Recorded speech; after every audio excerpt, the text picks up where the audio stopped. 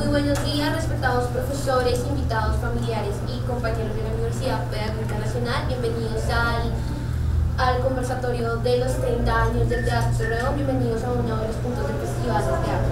Eh, el día de hoy vamos a hablar de las experiencias contadas que hemos vivido a través de, la, de las décadas del teatro. Con ustedes tenemos acá a Angélica Peña Ruiz, del, del integrante del grupo representativo del año 2012 y 2013. Tenemos a Nicolás Soto Celis, del año 2015 y 2016 y al actual miembro de nuestro grupo dice Tatiana Guname, Gualume, del año 2016 y 2017.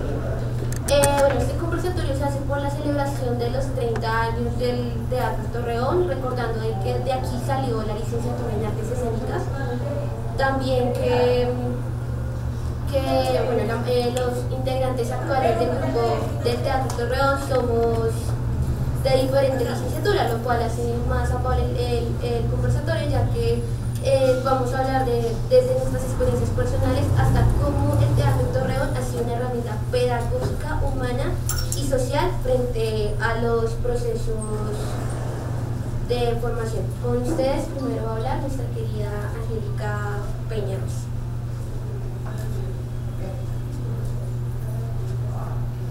Eh, bueno, buenos días a todos. Eh, bueno, primero voy a hacer como una pequeña presentación de mí. Mm, soy licenciada en Español y Lenguas Extranjeras, me gradué en el 2015 y entré al Torreón haciendo cuentas más o menos como en el 2012-2013. Eh, en ese momento estaba Javier Piracún y posteriormente entró Arturo Triana a ese proceso formativo. Eh, actualmente hago parte de la Corporación Artística de La Mancha, que nace de docentes licenciados en, de la Universidad Pedagógica Nacional y eh, pues debido a, nuestra, a nuestro deseo de hacer teatro surgió como un proyecto simplemente para hacer teatro y fue creciendo sin, sin nosotros proponer.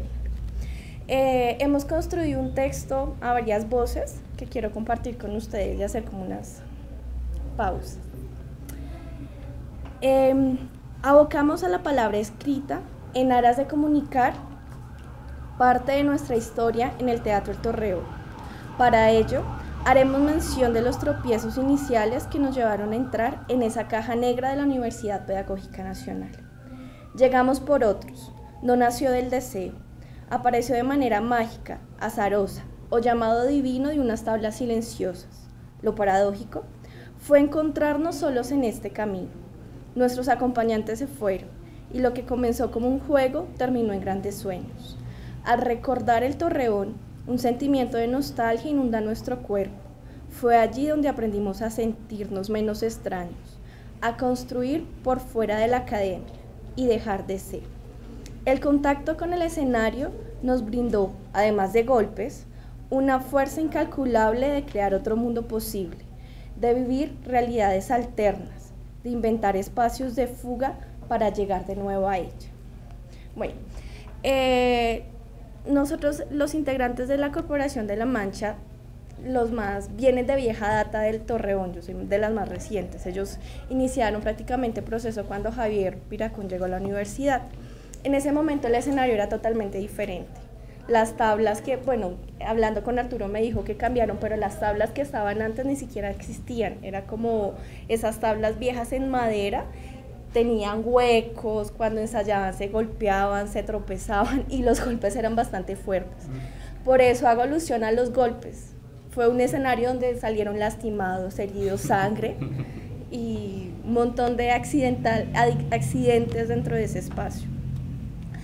Eh, además compartimos entre todos que ninguno llegó al espacio porque quiso. Todos llegamos por otros, jalados por acompañarlos o por hacer actividades diferentes, pero no partió el deseo de cada uno, a excepción de una persona que ya sí dijo que llegó al torreón para dejar de ser tímida. Mm. Caminamos por las grietas que formaban los años en aquella vieja madera. Nuestro sudor e incluso sangre salpicaba por doquier en aquel espacio desteñido, aquel espacio roto que nos complementaba. que nos llenaba de astillas, cuerpo, voz, mente, alma, silencios, deseos, momentos, la vida misma. Toda astillada se reconstruía permanentemente mientras frustraciones y hallazgos yacían en el centro de nuestros cuerpos frágiles, indefensos en medio de la inmensidad del escenario. Una pintura vieja e inconclusa nos miraba desde lejos, nos juzgaba más que el público, que incluso los mismos directores. Ella más que nadie había presenciado los procesos allí llevados. Ella más que nadie podía hablar de lo que en esa caja negra sucedía. Quizá fue consejera de los que abandonaron sus carreras para decidir quedarse en las tablas. Quizá nos susurraba al oído que eso nos hacía más feliz que nuestros proyectos de vida profesionales. Nos tentó muchas veces y nos juzgó, a algunos más que otros, por no hacerle caso. Tuvimos deseo de acallarla, de hacerla más amable y fue imposible. Saludamos con sorpresa que ya no presencie los nuevos procesos aquí abrigados. Quizá también la extrañaremos, así como se extraña ese observador silencioso que siempre está ahí juzgando con su gesto. Em, muchos de nosotros en algún momento pensamos si lo que estábamos haciendo en, nuestras, en nuestro futuro profesional, si, si era por ahí el camino. Eh, a modo personal, en un momento en la misma carrera estaba terciando una materia, estaba muy inestable frente a lo que eso quería en mi vida y yo lo decidí como si, si paso la última vez la materia, continúo y si no cambio de carrera. Finalmente pasé así, como, como con un 3-1 pero creo que también fue la mejor decisión. Todos pasamos por esos momentos de crisis donde encuentras que lo que estás haciendo en las tablas te hace mucho más feliz que lo que haces en la academia. Y con el paso de los años te das cuenta que puedes integrar las dos cosas y ser igualmente feliz o mucho más feliz. Y eso creo que también con el paso de los años nos, nos ha pasado a nosotros y a mí también. Tal vez su mirada asesinó, acabó con obras que nacieron para morir proyectos sin final ni llegada, frustraciones acalladas, caras de desaprobación e intentos frustrados. La memoria trata de olvidar sus nombres y prefiere recordar lo hecho. Caricias, dulces cuentos solo para perversos, trece terror y miserias, Ciudad Navidad, la poética del crimen, la noche de los asesinos, niños perdidos, las salvadoras e historias para ser contadas. Con solo escuchar una imagen se hace en la mente. Ya no somos los mismos. Eh, bueno, frente al, proceso de, las obras que acabo de mencionar, mencioné todas las que hicieron parte nosotros como colectivo. Eh, mi primera obra fue Niños Perdidos y ese primer personaje es el que más recuerdo, sobre todo la sensación de estar en las tablas y dejar de ser yo misma para ser otra, otra persona. Y ese primer personaje que tenía un montón de vicios, que tenía mi corporalidad, que era un poco clown, era clownesto e, este personaje, eh, fue lo que me cautivó. Realmente yo llegué al torreo por jugar. O sea, soy sincera. Y si seguí continuando ese primer semestre era porque jugábamos, porque hacíamos siempre y porque me quedó gustando. Y después encontrar esos, esos pequeños... Eh, esos pequeños caminos que llegaron hasta, hasta donde llegué. Eh, desafortunadamente no nos coincidían los, los horarios de ensayo, todos trabajábamos, ya eh, habíamos éramos egresados, teníamos nuestras obligaciones, pero teníamos una necesidad de hacer teatro enorme. Ahí nace la corporación, eh, buscamos un espacio y empezamos simplemente a ensayar y a jugar. De ahí llegaron otros convenios, otros contactos y la cosa ya se puso más seria y nos tocó buscar la forma de tener una imagen legal para poder participar en eso y, y salió de la construcción de, ni de sueños, porque no lo, nunca lo mencionamos como un sueño, sino el sueño se fue dando y se fue construyendo al pasar de, de los años. En cuanto a lo personal, eh, el arte me abrió muchas perspectivas. Eh, con el teatro llegó la danza, con, el, con la danza llegó, llegaron otras expresiones y otras formas de, de construir y construir sociedad. Somos pedagogos, somos docentes, estamos formándonos y formándonos, formando niños y jóvenes de, de Colombia. y te cambia la forma de educar. La las perspectivas en que tú llegas a clase, las herramientas pedagógicas con las que tú llegas, los juegos que puedes crear y generar en ellos son otros desde que tú eres pedagogo o un pedagogo que salió licenciado a que así hiciste parte del torreón. En este momento trabajo gracias al, al arte, no como teatro, sino trabajo gracias a la literatura que también me abrió otro horizonte, pero si no hubiera sido por el teatro no hubiera llegado allá. Eh, trabajo en este momento con IDARTES. Y en este espacio, en este espacio, antes de llegar a este lugar había trabajado como, como docente. Antes de llegar a este espacio, había trabajado, he trabajado como docente en varias, en varias instituciones y la concepción pedagógica que hay en muchos colegios viene desde, desde, desde modelos tradicionales, desde modelos rígidos, desde una exclusión del arte, desde que eh, en una de las instituciones el último comentario al final de año fue que yo no podía llegar a jugar y a cantar con los niños, porque era realmente lo que yo hacía, era jugar y cantar eran niños de preescolar y primero. Entonces es esas formas que la misma, el mismo sistema educativo te impone para hacer, que no puedes enseñar eh, lenguaje en inglés desde unas formas, sino que tienen que ser de unas estructuras rígidas.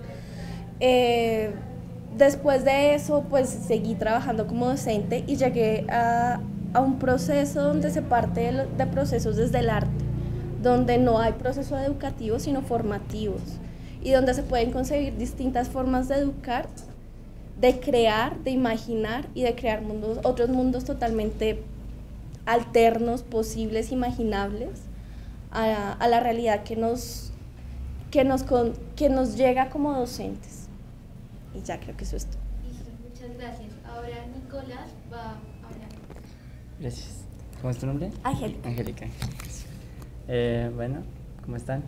Eh, qué alegría estar acá, qué alegría mis compañeros de Cali, eh, con las caras que conozco.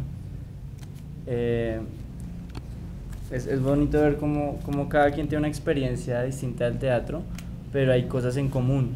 O sea, y yo encuentro en cosas que tú, tú vives, cosas que también que traté de plasmar acá. Y eso es, es algo muy bonito. Quiero que veamos estas imágenes rápidamente. Eh, bueno, así en, en, orden, digamos esta imagen. ¿sí? Eh, alguien que me diga una palabra o dos palabras de esta imagen.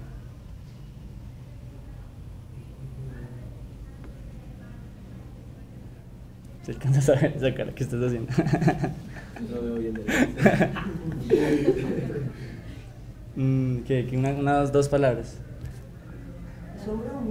¿Cómo? Es, es, ¿qué es mujer? Es mujer. Pero esa, esa es pues, una, una pregunta, ¿es hombre o es mujer? La cabeza de un... Uh -huh. Sí, sí, sí, sí. Otra, es que hace palabras. Placer. Placer, ¿qué más? Cansancio. Cansancio. Eh, yo veo esas cosas y al mismo tiempo también veo hermosura, no sé por qué, pero se me hace que, que es hermosa, no, no sé, ¿sí? ¿Cómo? No, diga, esto lo hace uno de los nietos de Freud. y quienes conocen a Freud saben que, que, sí. Bueno, veamos esta. ¿Esta qué es?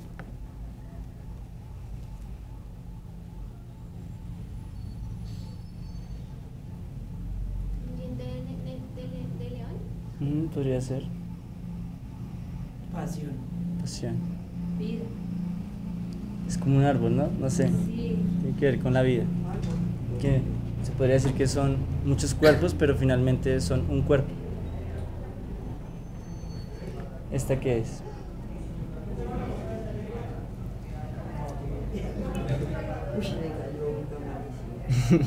Sí, parece maldito. ¿Cotidianidad te suena? ¿Qué más?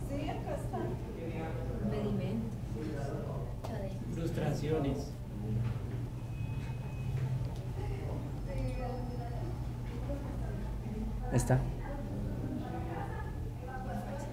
Infancia. ¿Qué más?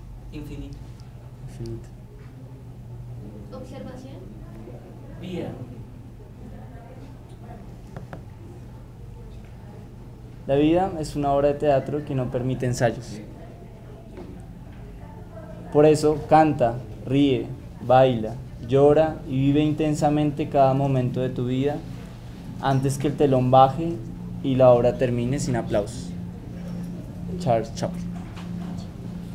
Bueno, Bueno, Ventura decía que lo mejor es la vida, pero desgraciadamente no se puede salvar. sí. Sí. Dice, al empezar, tuve la pretensión de comunicar cómo el teatro me transformó, pero para no hacer el texto muy largo, decidí más bien hablar del potencial transformador y vivificante del teatro. No voy a hablar tanto de mí, sino del teatro. Igual sigue siendo una pretensión, pues la experiencia del teatro es algo que se vive en el propio cuerpo, en el cuerpo de cada quien. Se puede tratar de representar en un escrito y ese escrito puede ser vivificante, pero no llegará nunca a ocupar el puesto de la experiencia. Dice el dicho, quien lo vive es quien lo. Diría yo, el cuerpo que vive el teatro se transforma, se vivifica y puede llegar a ser de sí mismo una fuente de placer. Esta es quizás la idea que quiero dejar más clara en este texto. Ella decía, eh, el cuerpo no puede ser un vehículo que transporta nuestro brillante y hermoso cerebro. Hay quienes solo usan su cuerpo para, tras- para transportar a su cerebro. ¿sí? Eh, tampoco es o no debe ser, y quiero dejarlo claro, un objeto del cual podemos usar y abusar para satisfacer insaciables compulsiones autodestructivas. Decir que el cuerpo ha de ser una fuente de placer no quiere decir que ha de ser un objeto de goce inhumano. Más aún porque el cuerpo ha de ser una fuente de placer es necesario cuidarlo, amarlo, fortalecerlo y no abusar de él. Quererlo es quererse y quererlo vivificar es quererse vivificar. Volviendo a la profe, esto lo decía en un coloquio de filosofía de la universidad, de filosofía. A los profesores y estudiantes les causó esto mucha risa. En todo un serio coloquio de filosofía, la profesora hizo un sencillo ejercicio. Les pidió que movieran un brazo como se hace en el flamenco. Se trata de extender todo el brazo lentamente, primero moviendo el hombro, luego el codo, luego la muñeca y luego los dedos. La profe, la profe hacía este sencillo movimiento de una manera hermosa. Mo- mo- movemos nuestros brazos y manos cientos de veces en un día, pero nunca le prestamos real atención a esos movimientos. No buscamos extraer de esos movimientos placer alguno. A veces creemos que solo de nuestros esfínteres o de nuestros penes o vaginas u otras zonas erógenas podemos obtener placer y olvidamos que todo el cuerpo y el movimiento en sí mismos pueden ser una fuente creativa de él. Tomar conciencia de que somos seres corporales, que poseemos un cuerpo, nos lleva a establecer una relación de amor, cuidado y expres- expresión y afecto con él. Más bien, no se trata de una relación con él, sino en él. Mejor aún, no se trata de yo tengo un cuerpo, sino de yo soy un cuerpo. Se trata de habitar, de vivir el cuerpo, de sacarle todo su provecho estético y de dejar de instrumentalizarlo u ocultarlo. Repito con la profe de flamenco Indira, nuestro cuerpo no ha de ser el coche de nuestro cerebro. Digo yo, que sea más bien una fuente cotidiana de placer estético. Siempre buscamos objetos de satisfacción afuera de nosotros y olvidamos que la felicidad viene de adentro. Eso dice Dalai Lama. Yo diría que no solo de adentro, sino de esto, de estos músculos, huesos, venas, agua, sangre, de este cuerpo, lugar de la vida. Para explicarnos, para explicar lo humano, podemos dividir el mundo en adentro y afuera. Dicen algunos buenas almas, lo que importa es lo de adentro. Con todo el respeto del principito, otros dicen, lo esencial es invisible para los ojos. Bueno, en esto hay algo de verdad, pero frases como estas nos pueden llevar a olvidarnos de que nuestros cuerpos visibles, olvidarnos de nuestros cuerpos visibles, a verlos como un recipiente sin importancia, simples contenedores o prisiones de un algo metafísico puro llamado alma o esencia. Pensaría yo que el cuerpo en su simultánea hermosura y visceralidad sí está lleno de algo, de vida, pero eso de que está lleno no es ajeno al cuerpo. El cuerpo sin la vida es cadáver, y la vida sin cuerpo, eso no existe. Hasta los mismos dioses griegos o los cristianos o los hindúes decidieron en su momento poseer un cuerpo, encarnarse. ¿Y para qué? Para acercarse al ser humano.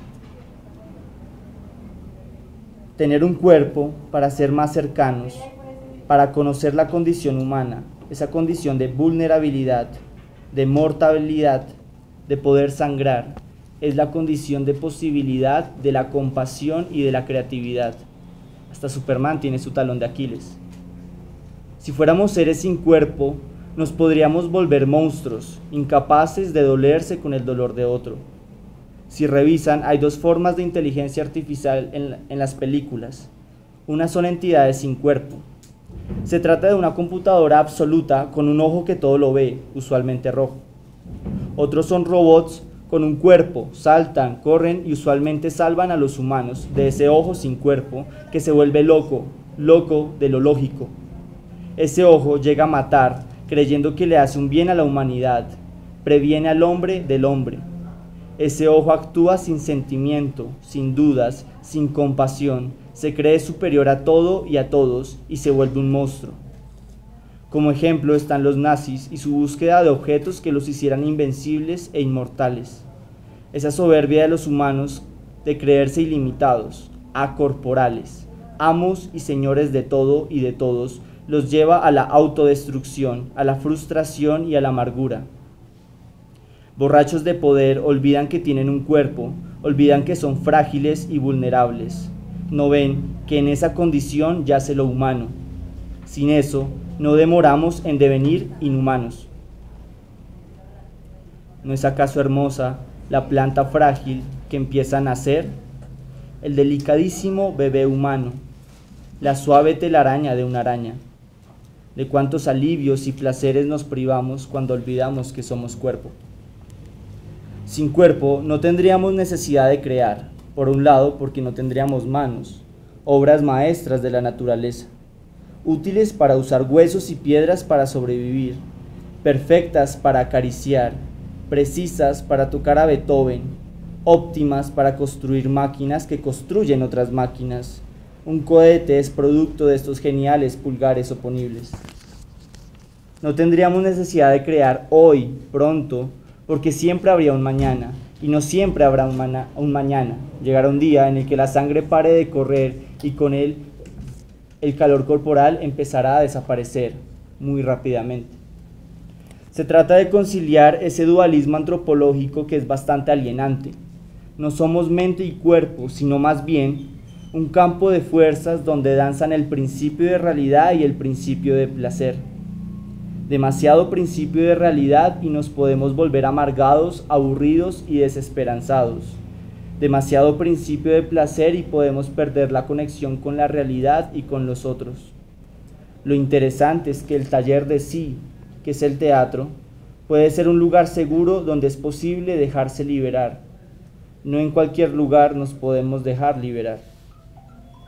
Es taller de sí porque en él uno se trabaja a uno mismo. Esas horas en que se está con los compañeros y con el profesor haciendo teatro puede ser un lugar para perder la conexión con la realidad y dejar que el principio de placer domine el baile. Que el principio de placer tome fuertemente de la cadera el principio de realidad y le diga, mientras estemos aquí, sigue mis pasos, déjame guiarte y llevarte por caminos inexplorados. El espacio del teatro puede ser el momento en que el corazón abraza firmemente a la razón y le dice, acércate. Las horas de clase pueden ser el momento de la creación, del descanso vivificante, de la comunión rivalidad que desde tiempos inmemorables tiene nuestra animalidad y nuestra racionalidad. La segunda idea que me gustaría constatar es la del teatro común, heterotopos de vivificante psicosis colectiva. Un poco raro ahí. El teatro común heterotopos de, de vivificante psicosis colectiva. Desglosemos un poco la afirmación. Es un heterotopos porque es un espacio-tiempo diferente.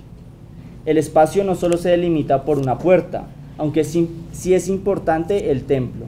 El terreón puede llegar a significar para algunos una especie de templo, un lugar íntimo y especial hecho para ese fin, en el cual se dejan muchas vivencias y por el cual han pasado muchas vidas. Como dice el dicho, si esto, bueno, yo lo había pensado que lo íbamos a leer en el Torreón, entonces imaginemos que este es el Torreón. Dice, un lugar íntimo y especial. Como dice el dicho, si estos muros pudieran hablar, todo lo que dirían.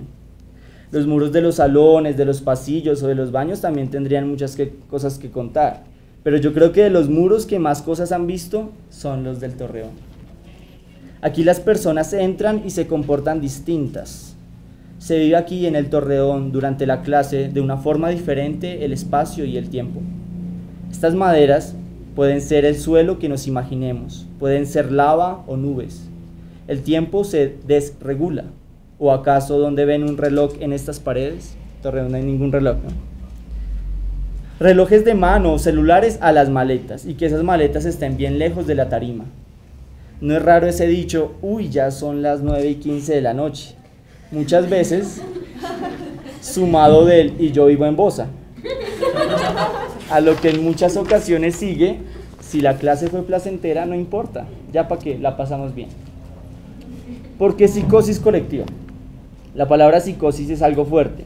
Google la define como enfermedad mental grave que se caracteriza por una alteración global de la personalidad acompañada de un trastorno grave del sentido de la realidad. Bueno, algo así pasa acá. Pero no es individual, sino colectiva. Si alguien dice yo soy una mariposa zombie mutante, no solo le decimos que sí, sino que nos asustamos o le cortamos la cabeza o nos dejamos chupar y nos volvemos flores zombies mutantes. En el teatro uno se quita la fachada de la personalidad y de la identidad. Aquí nadie está tratando de defender que es un humano racional, honesto, buena alma y equilibrado que propende la paz mundial. Aquí nadie afirma yo soy, yo soy, yo soy, sino que se pregunta mientras actúa, ¿qué puedo ser yo? En especial en la improvisación, y es a mí también la improvisación, el clown. En fue, sí, es mi primer amor al teatro. En, es- en especial en la improvisación, muchas veces se da la genial sensación de actuar y de luego decir, no pensé que podría llegar a hacer eso. Es genial la sensación de auto sorprenderse y con el tiempo uno se va quitando ciertos miedos y sabe que nada de lo que dice o de lo que hace durante el juego le compromete en nada. Pues no es usted, es una máscara, no una máscara de hipocresía sino de creación. No es una máscara, usted no la posee, solo la toma del viento que pasa y luego la deja ir. Cuando una persona usa una máscara en un carnaval no se le puede decir que está siendo hipócrita, por el contrario, se aplaude su máscara, pues es creación y expresión. No tapa, por el contrario, muestra. Muestra algo que nuestros rostros y cuerpos normalizados por la rutina tapan, nuestras fuerzas vitales en fluctuación, amor y odio, agresión y ternura, nihilismo y trascendencia, ganas y pereza, orden y caos, vida y muerte. No es tanto una máscara que comunica, sino que expresa. En la comunicación uno busca que el otro entienda, uno busca transmitir un cierto mensaje, pero en la expresión lo principal no es, el no es que el otro entienda racionalmente y es por eso que puede haber más acción, más cuerpo y menos palabras. Creo que es necesario que nos escapemos de la realidad, pero ojo, solo cuando nos hemos asegurado que no corremos riesgo de naufragar en la locura. Lo digo porque puede pasar. Meterse en las aguas de la imaginación sin dejar de estar amarrados al barco de la realidad y llevar un poco de esas revitalizadoras aguas que impregnadas en nuestro cuerpo mojan de curiosidad y movimiento a la tripulación de la que siempre haremos parte, los seres humanos. Porque hacer teatro no nos convierte en seres humanos más evolucionados. Eso no nos hace superiores a nadie. Eso me ha enseñado el teatro. No podemos negar que es fácil que en estos terrenos se dé la mala hierba de la vanidad y del pedantismo. Y es que con eso quiero llegar a la otra idea fuerza de este escrito. El teatro como productor de comunidad y de vínculos con los otros. Antes de seguir, quiero mencionar una cosa. Hasta el momento he mistificado o sacralizado un tanto el teatro, como si fuese un poco la fuente misma de la vida, medio de redención y de salvación, como si fuese un Dios. Para muchos el arte es su Dios y su salvación, pero pues no todas las vivencias del teatro son tan vitalizantes como las que aquí muestro. El ejercicio que intento hacer es recordar mi yo de hace tres semestres, sus emociones y vivencias para con el teatro. No hay que negar que hasta el mismo teatro o el arte pueden convertirse para algunos en una práctica fastidiosa, competitiva y carente de sentido. Quizás el fin del teatro en esta universidad y en este espacio no es la de formar grandes y virtuosos actores. Quien desea hacerse un actor profesional debe aplicarse unas rutinas y una cierta formación, pero pues la cuestión es un poco diferente para quien no proyecta para sí el teatro como su profesión. Eso no quiere decir que aquí no haya disciplina, esfuerzo y compromiso, pues la hay y mucho no en el mismo grado por todos. En su momento dedicaba muchas fuerzas al torreón, hoy no lo hago, pero hay otros que ponen gran parte de su talento y energía en la construcción del teatro. Y es que eso es también algo bonito del grupo del torreón. Uno llega y ya existían unos antes. Ellos a uno lo acogen, uno se queda, luego ve a otros llegar y luego uno se va. Se parece a la vida. Llegamos a un mundo ya existente, esa generación nos acoge, nos educa, nos pasa el mundo, la cultura. Luego crecemos y como generación adulta acogemos a unos nuevos y luego nos vamos. A nadar en definir así la educación, acoger a los nuevos. Es genial el grupo de hoy. Pone gran parte de su talento y energía en la construcción del teatro. El teatro no existe per se, no existe como una identidad salvadora, sino que es construcción fluctuante de manos humanas que se entretejen y se vivifican las unas a las otras. Soy entusiasta, pero no quiero fetichizar el teatro. Pero bueno, este no es el punto. Volviendo a la tercera idea, el teatro como productor de comunidad y de vínculos con los otros. Son muy interesantes los vínculos que aquí se crean. Aquí construí hermosos lazos humanos. No me sentía bien con el grupo de la carrera. En primer semestre se hacen ciertos grupitos y pues en ellos no me hallaba. Llego a teatro y conozco gente genial, gente sonriente y abierta.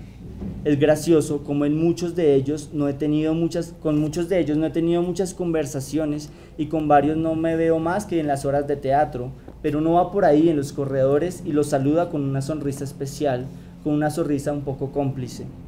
Uno tiene amigos de hace mucho tiempo, pero no lo han visto a uno comportarse como una mariposa zombie mutante. Son carcajadas compartidas que se dicen en clase estás loco y que luego en los pasillos se dicen eres un amigo de teatro. Podría ser una categoría de amigos llamada teatro amigos. teatro amigos.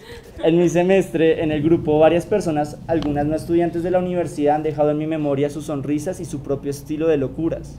No se me olvida el clown zombie que el joven apodado Capitán, no sé si se acuerdan de Capitán, ¿tú sí te acuerdas de Capitán?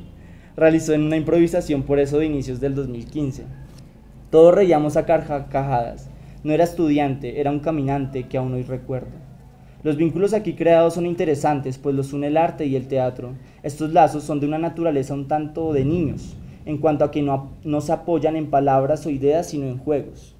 Puede uno diferir en concepciones acerca de la educación, la política, el arte, la vida, pero eso no es de mayor importancia en este espacio, pues lo que nos une aquí es el juego. Los niños no egoístas dejan entrar al juego al que sea, no preguntan nombre, nacionalidad, identidad de género, orientación sexual, religión o partido político. Lo que les importa es jugar y que los que entren en el juego estén en actitud de juego. Y es que pese a que uno venga aburrido de la vida o de la universidad, el cuerpo juego común que creamos todos mientras caminamos por el espacio crea una atmósfera que nos hace descansar de las cargas de la existencia haciéndonos mover. Descansamos moviéndonos. Moviéndonos juntos, ya no como individuos, sino como una colectividad. Si un individuo viene bajo de energía, cuando deja de ser individuo y pasa a ser parte del movimiento colectivo, se revitaliza. Y es que los momentos que para mí son más geniales son en los que estamos todos en movimiento y en los que nadie puede quedarse quieto o desatender a la, dinámica común del grupo. Nadie se queja, nadie busca transmitir sus dolencias, nadie hace de psicólogo ni psicoanalista. Y aún así, no estoy seguro cómo moverse aquí junto a otros es cura, es terapéutico algunas veces catártico. Se me viene a la cabeza esa vez que saltamos durante más de 20 minutos seguidos en la Plaza Camilo gritándole al cosmos lo que pensábamos del conflicto armado. No sé si alguien... ¿Tú estabas? Sí. Eh, ¿Tú estabas? Sí, el profe se acuerda cuando saltamos en la Camilo como 20 minutos seguidos gritándole al cosmos. Estábamos descalzos, fue algo catártico. eh, y, le gritábamos, gritábamos lo que pensábamos del conflicto armado. La gente que estaba al lado se nos rió, pero fue memorable saltar todos juntos. Los egos del hiperindividualismo propio de esta época se quedan atrás cuando se escuchan y se muestran los cuerpos en un baile común, el de la improvisación. Ya no soy yo, mi contexto, mis necesidades, mi rostro, mis intereses, mis gustos, no, ya no. Se trata ta- más bien de un nosotros creativo. Ah, ya va a acabar. ¿Puedo seguir? Sí, dale, tranquilo, sigue. Pero tú, sí. Dale, ¿Sí? sigue que de todas maneras. Bueno, ya, ya va a acabar, ya va a acabar. Todavía no siento. El teatro. ah.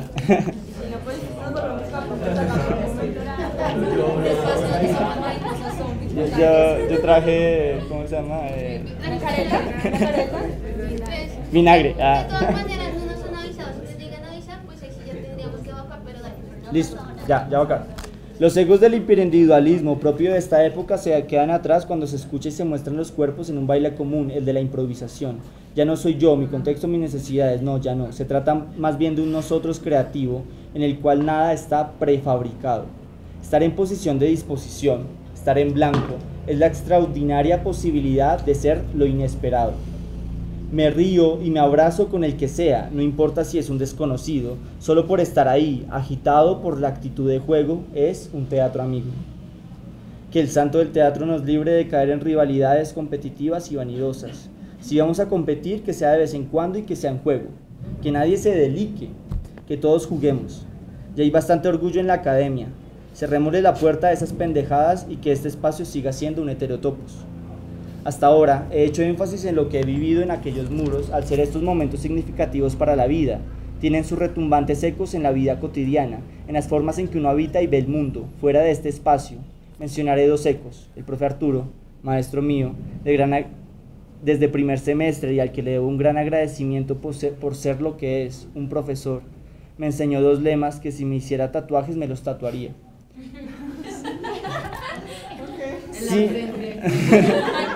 Dos lemas muy sencillos. Sí y, y aquí y ahora. El sí y es algo genial. Es todo lo contrario al no o al sí pero o al pues sí. El sí y es un lema fundamental de la improvisación. Sin esta no hay creación. Su sencillez embellece aún más de esta frase. Se trata de que el otro hace algo y uno no y uno solo no solo debe creerle, aunque sea lo más loco del mundo, sino que además debe aportarle con otra acción. Si no actúa como una mariposa zombie mutante, el otro puede aportar siendo un fan de mariposas zombies y la mariposa puede responder firmándole un autógrafo eh, ante el cual el fan de mariposas puede optar por pedir la succión de su alma. Empezamos con algo sencillo como ser una mariposa zombie mutante y podemos terminar en cosas locas como tomar una siesta. El mundo es puesto patas arriba no por uno o varios individuos, sino por una fuerza superior, la fuerza humana del azar y de la imaginación. Y es que ese sí y nos despierta, nos activa, nos hace atrevidos, nos desinhibe, nos libera, nos hace más ágiles corporal y mentalmente. Dirían los psicólogos de estos tiempos, sube nuestra autoestima. Y creería yo que no solo el autoestima, sino el heteroestima, es decir, el estima hacia los otros. Es que uno estima más al otro cuando se ve obligado a decir sí y. Al principio la racionalidad no lo deja uno aceptar que el otro quiera ser una mariposa zombie. La falta de- del ejercicio de la imaginación nos hace creer que es una idea muy descabellada que carece de cualquier futuro interesante. Le provoca a uno decir, ¿estás seguro que quieres ser eso? ¿No has pensado en ser un perrito normal como los otros perritos? O mira, eso es muy tonto. Cuando uno acalla a esas voces y antes de que el otro haga algo, uno ya está en actitud de decir con todo el cuerpo sí y se da la magia. Es mágico como dos o varios seres sin ponerse de acuerdo antes de llegan a crear historias geniales y porque sea una co-creación es que uno estima al otro. Reconocer que sin las ideas del otro no puedo improvisar, reconocer que necesito del otro para poder crear, es una verdadera actitud de estima hacia el otro. No importa de qué trate la idea del otro, no será desechada nunca en una verdadera improvisación. Eso no se aplica a la vida real. Uno no puede estar diciéndole sí y a todo el mundo de todo el tiempo, pero una actitud de vida tendiente al sí y nos puede hacer seres con menos resentimiento y menos criticadera, menos obstaculizadores de ideas y más potenciadores de vida. ¿Acaso no es eso lo que hace un educador? ¿Potenciar la vida? Si hemos de ser jóvenes con pensamiento crítico y divergente, hemos de ser más críticos creativos y no tanto críticos destructivos. En el primero hay carácter, en el segundo hay resentimiento.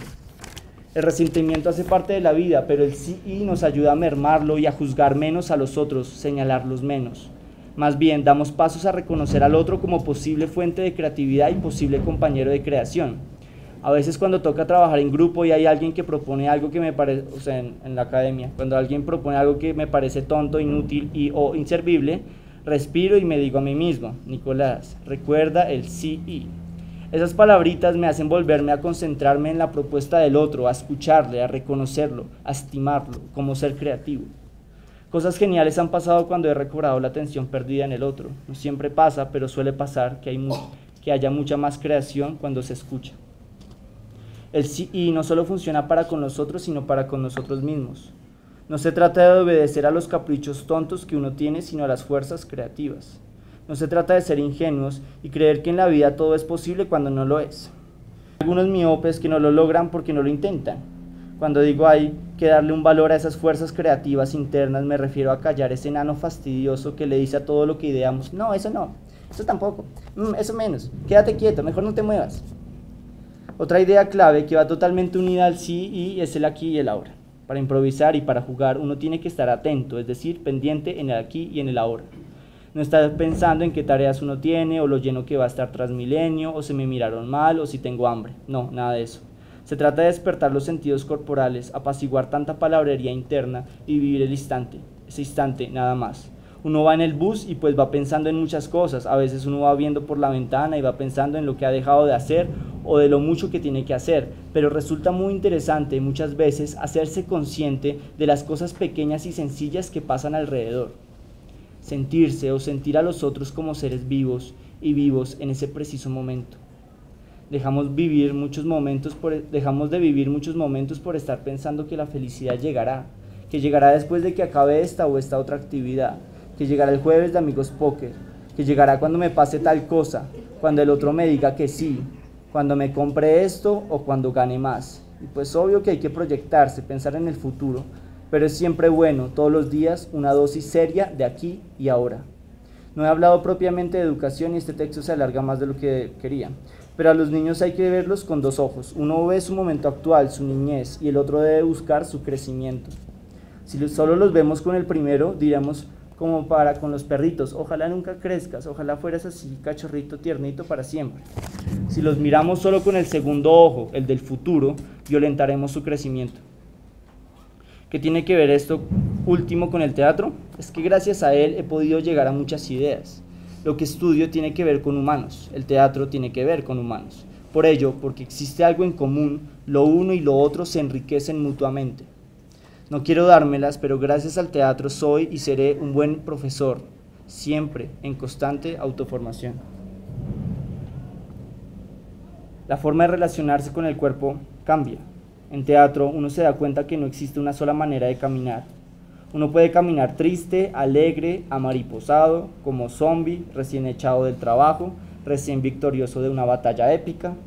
Al hacerse consciente de que es placentero hacerse consciente del propio caminar, de vez en cuando uno le agrega voluntariamente un matiz autoexpresivo a la propia manera de caminar. Es decir, que mientras uno camina puede dar un pequeño saltico o una pequeña pirueta, sin extravagancias vanidosas, para provocarse a sí mismo una tenue sonrisa y mostrársela al sol en agradecimiento a su luz y calor. ¿Por qué no regalarle al sol una sonrisa para que él también sonría? No creo que los que de vez en vez le sonreímos al sol o le picamos el ojo a la luna mientras caminamos solos estemos locos. No abandero a los niños, pues quiero que crezcan y sean adultos, pero es muy interesante ver que puedan hacer del teatro un juego. Son graciosos cuando juegan a no pisar las uniones de las baldosas, cuando bailan apenas escuchar música. Hay que crecer y ser adultos, pero no hay que ser tan serios todo el tiempo. Es bueno despelucarse un poco y recordar que somos cuerpo. Cuerpo que mientras esté vivo es el lugar de la vida. Así que no esperemos a que llegue la vejez o la enfermedad para darnos cuenta que sin él no es posible vivir.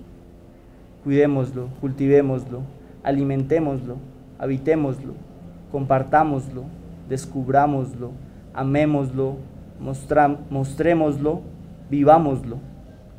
porque el arte me permitió descubrirme, descubrir que soy cuerpo, moverme de maneras que nunca me había movido, sentir un poquito de libertad. Gracias teatro, gracias Torreón, gracias maestro Arturo, gracias compañeros todos, gracias yo mismo, gracias universidad y gracias vida. Listo. Gracias. Para finalizar el,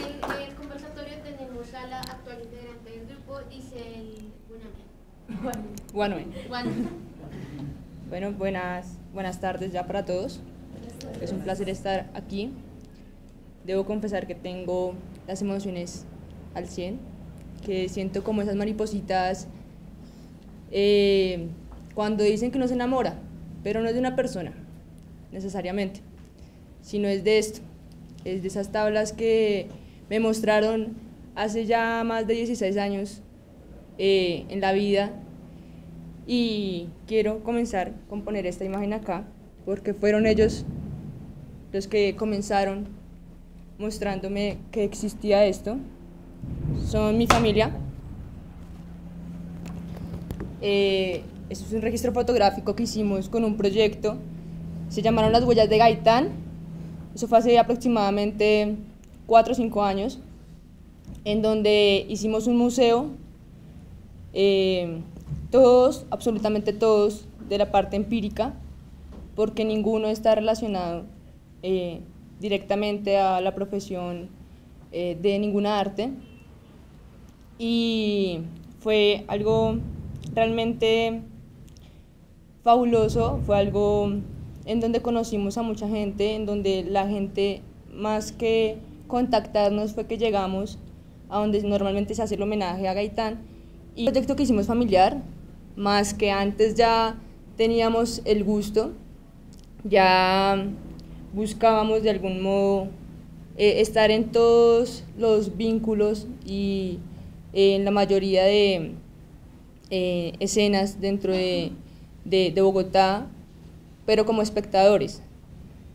Utilizábamos el teatro también pues como actividades dentro de fiestas o encuentros, pero era solo eso y la gente que llegaba a vernos pues ya nos conocía, pero era porque eran del conjunto donde siempre hacíamos todas las reuniones. Entonces comenzó ese amor más que todo, y, traje la camiseta porque tenemos varias colecciones, eh, por el Festival Iberoamericano de Teatro, en donde eh, con, con mi familia pues ha sido un amor que yo digo que es heredado, ¿no? Por si quieren verlos, pasarlos. Son dos libros de, de, varios festivales. Y bueno, y, durante mi vida también en el colegio pues hacía varias obras y demás, pero insisto, eh, faltaba esa parte que implementaba a, lo empírico, al que nos parábamos y de algún modo sabíamos que queríamos transmitir un mensaje, pero lo que sabíamos cómo hacerlo era porque leíamos, no teníamos alguien que nos dijera eso está bien o está mal, lo hacíamos por un amor que ya teníamos acá eh, insertado.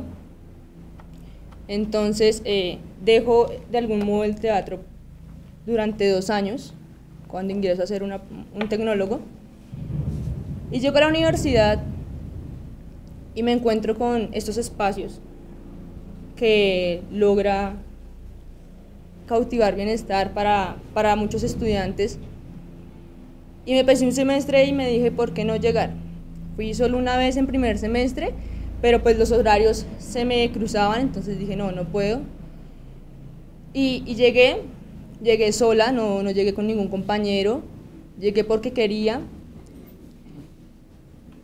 Y, y he ahí la igualdad de que muchos de los que llegamos en ese entonces, hace, dos años aproximadamente, llegamos solos, llegamos porque queríamos eh, estar en teatro, porque nos gustaba. Ninguno de nosotros eh, estudia las licenciaturas en artes escénicas o de música.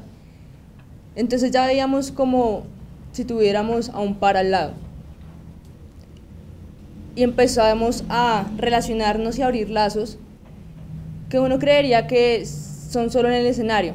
Y no, realmente esos lazos se fueron ampliando para otros eh, contextos dentro de la universidad. Y observamos que dentro de toda esta cuestión de, de estar y ser uno mismo para el otro, nos acompaña de algún modo, eh, voy a mostrar una imagen, nuestra familia. Eh, esto fue una presentación y ese día pues varios familiares fueron y así ha sido siempre, siempre nos han estado apoyando. Pero de otro modo encontramos que no es solo nuestra familia, sino estamos creando una familia nueva, con esos gustos que nos vinculan a nosotros mismos con ese amor que le tenemos al escenario y a los colores que nosotros mismos formamos. Y no lo formamos individualmente, sino colectivamente. Claro, yo me leo un libreto y me creo el personaje, pero cuando voy a un ensayo, los otros, quienes conforman esta nueva familia, hacen transformar ese personaje que yo estoy leyendo y estoy creando. Entonces no es uno mismo, sino es la interacción con el otro. Llevándolo a la educación y a la licenciatura que estoy estudiando de psicología y pedagogía, vemos también un vínculo eh, entre el estudiante, el profesor y los mismos estudiantes. Vemos que dentro de eh, eh, los colegios hay muchas problemáticas. Y yo desde hace mucho tiempo pensaba en estudiar licenciatura en artes escénicas para el día de la inscripción de la licenciatura, y es una anécdota, muy chistosa, duré todo el día en el computador, sin darle enter para finalizar la inscripción. Y yo miraba el computador y daba vueltas y daba vueltas. Entonces, claro, empezaba a ver, porque tanto la licenciatura en psicología y pedagogía y tanto el arte escénica son dos cosas que amo, tenía que decidir porque de algún modo iba a ser el rumbo de mi vida. Y la decisión que tomé y la que estoy formando y transformando durante un día de pensarlo así frente a una pantalla fue el hecho de estudiar la licenciatura en psicología y pedagogía implementando el teatro, ya el teatro haciéndolo de una forma externa, eh, con otros conocimientos que vaya adquiriendo desde cuando ingresé al Torreón y de ahora en adelante moviendo fichas, porque es para mí el teatro una de las formas de solucionar muchas cosas, no solo eh, en la parte educativa de un colegio, sino también de transmitir un mensaje eh, a la gente que nos ve y nos escucha, de tratar de llamar a la gente que va pegada a su celular. Bien quiero recalcar aquí un estudio que hace la profesora Mercedes Delgadillo desde hace tres años sobre la atención focalizada dentro de la neurobiología. Y dentro de esos estudios no lleva ningún resultado. Cuando inició, el 25% de los estudiantes de primer semestre eh, tenían una buena atención focalizada, el otro 75% eh, no era de algún modo eh, buena y los ejercicios que ella hacía para poder hacer esos estudios no eran muy difíciles. Eran prestar atención a un cuento y tratar de volver a escribirlo o algo parecido. Ya al paso del tiempo eh, ha disminuido los resultados hasta llegar a un 13%. Entonces desde el semestre pasado empecé a preguntarme por qué eh, la disminución si son chicos que vienen también de colegios, que vienen de universidades de un 100%, 35 chicos que entran por cada grupo más o menos, solo el 13% sale con buenos resultados dentro de esos ejercicios. Dentro de ese proyecto, pues la profesora solo tiene como el estudio y le hace conocer a los estudiantes que está pasando algo, pero no hay una solución. Entonces yo le planteaba a ella que la solución era esa. Era que por medio de no una clase como las cotidianas que tenemos, y no digo que las quitemos totalmente, sino que transformemos lo que se hace, porque el mundo está en cambio constante. Y bien ella me decía, es complejo y esa tarea les toca a ustedes. Como sé que la mayoría acá están estudiando licenciaturas, esa tarea nos toca a nosotros. Y quiero utilizar el teatro y, y muchos otros proyectos para llevar a cabo eso. Porque si las tasas siguen bajando, solo con un, un grupo de población, vamos a llegar a cero y vamos a hacer máquinas andantes. Y creo que el teatro no es andar así como una máquina. De hecho, nos ha enseñado a caminar, nos ha enseñado a levantar la frente, a sostener la mirada al otro. Cuando a veces a muchos otros nos daba miedo o pánico. Una exposición no más. Nos ayudaba a desenvolvernos en nuestras clases. He tratado de utilizar el teatro en diferentes, eh, en diferentes facetas y en diferentes asignaturas por lo mismo. Quiero utilizar acá una frase que utiliza la profesora Mercedes el semestre pasado en la Semana de la Pedagogía. Y dice, el cuerpo humano es tan sensible que cualquier alter, alter, alteración externa o interna cambia el balance de neurotransmisores y hormonas, y por ende el sentir y el pensar, el pensar y el actuar. Es aquí donde le doy la relación con la psicología y con la neurobiología. Y es que como fuerte debemos de algún modo utilizar esto. Porque llegar al oído del otro y a mostrarle un mensaje y a mostrarle más allá de eso que nosotros sentimos para que ellos sientan, de lo que nosotros conocemos de nosotros mismos, es lo que va a cambiar de algún modo a pocos o a muchos, pero paso a paso eh, el pensamiento del otro. Quiero resaltar que estar en el grupo de teatro El Torreón y haber llegado allí me ha permitido aprender a escuchar, a escuchar al otro, a escucharlo sin ni siquiera que, a escucharlo sin la necesidad de que me hable.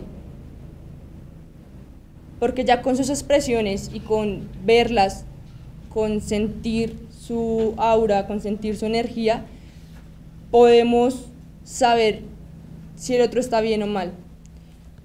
Y allí podemos llegar a hacer otros lazos.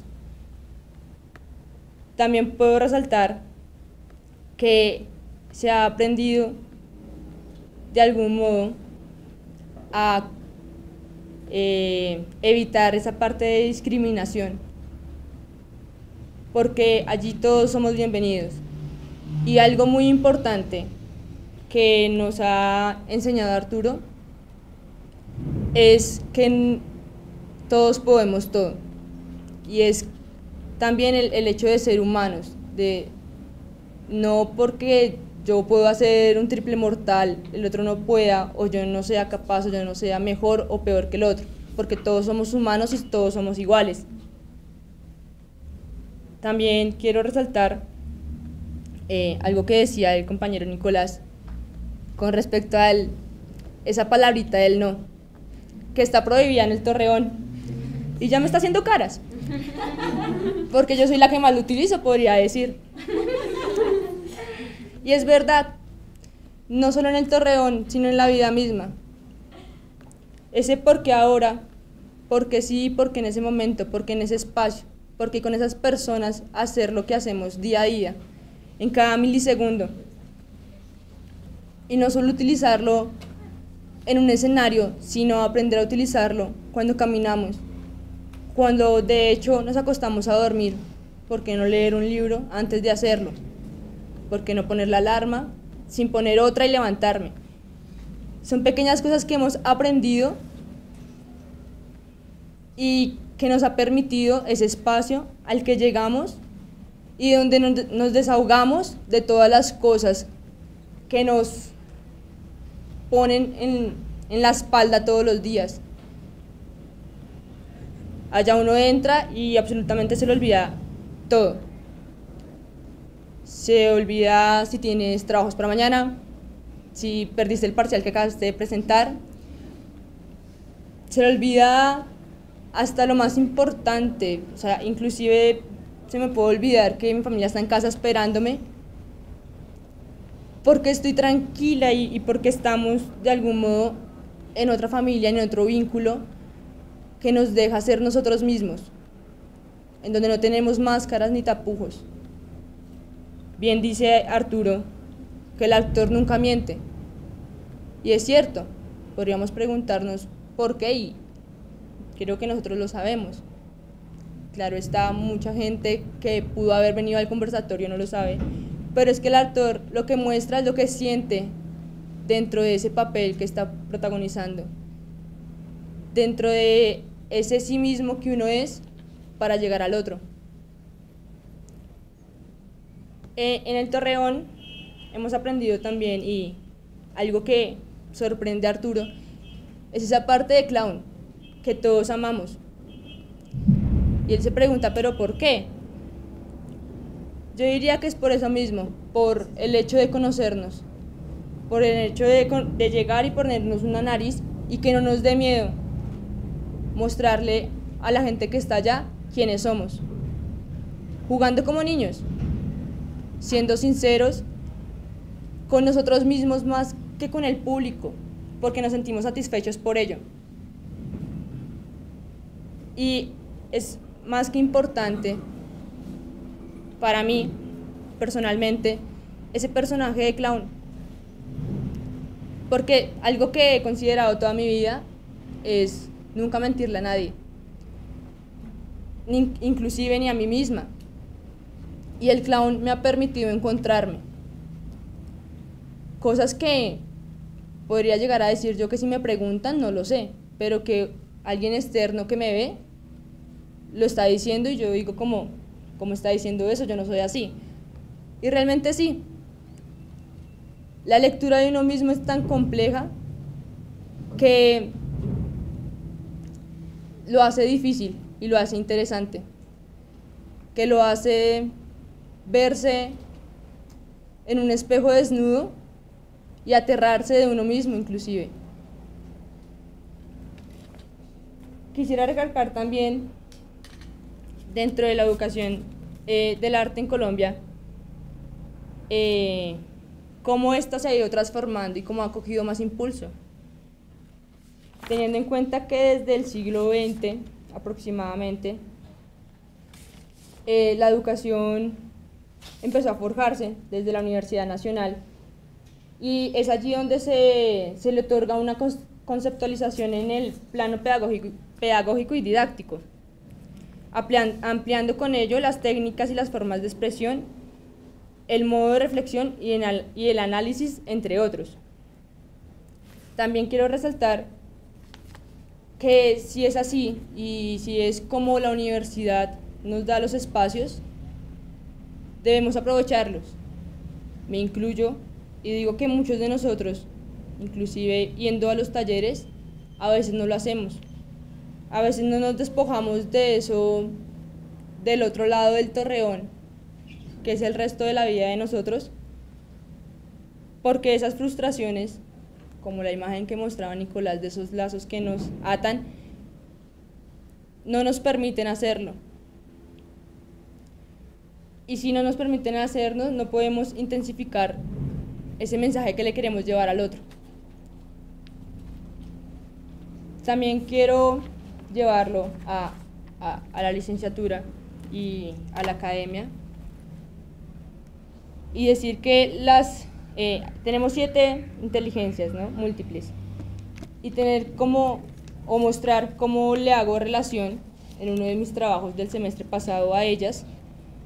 Entonces dice, la inteligencia lingüística, de donde podemos subrayar la capacidad del sujeto, del sujeto de gestionar la comunicación y la capacidad verbal, el léxico, este tipo de inteligencia se relaciona entonces con el arte de la literatura, que está sumergida en el teatro la inteligencia lógico-matemática, la espacial y la visual, de la cual atendemos el espacio teatral, nos permite saber movernos.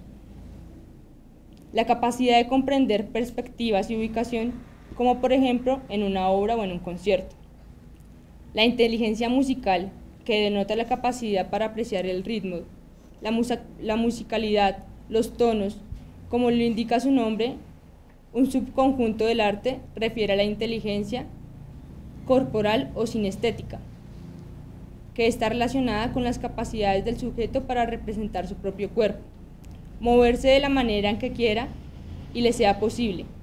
Tiene una relación muy profunda con la danza y el teatro, en donde todas podemos sumergirlas a una representación. También las inteligencias interpersonales e intrapersonales, que permiten la relación con las demás personas y consigo mismo respectivamente. La relación de estos tipos de inteligencia con el arte es que mediante estos realmente demostramos lo que queremos llegar a conocer del otro y lo que le, que le queremos mostrar. En esta medida, es posible notar que las inteligencias múltiples propuestas por Garner están indirectamente relacionadas con el arte, con sus formas. Aquí pues queríamos resaltar con unos compañeros eh, el cómo podíamos involucrar el arte por medio de la psicología y del otro.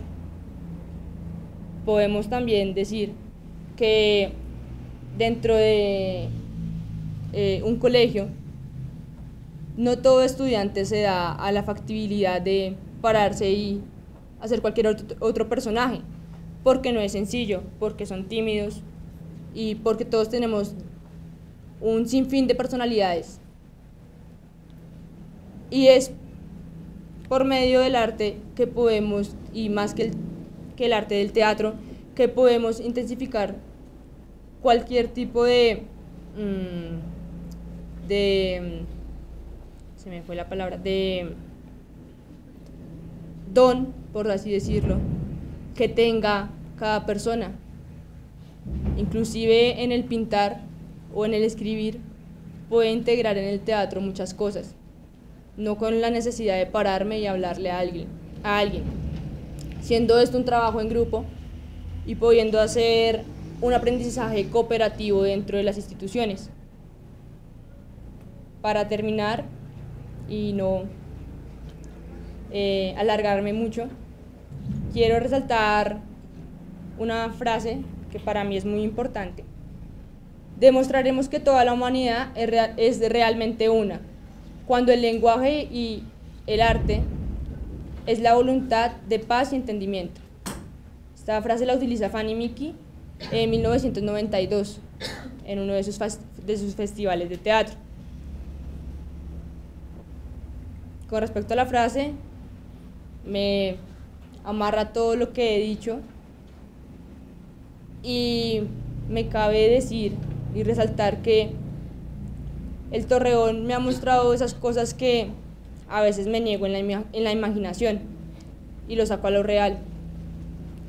También me ha mostrado otras formas de ver, como ese mirar de otra manera, o como los pispirispis que no sabemos qué son, pero pueden ser unos quelos o unos mostricos ahí volando.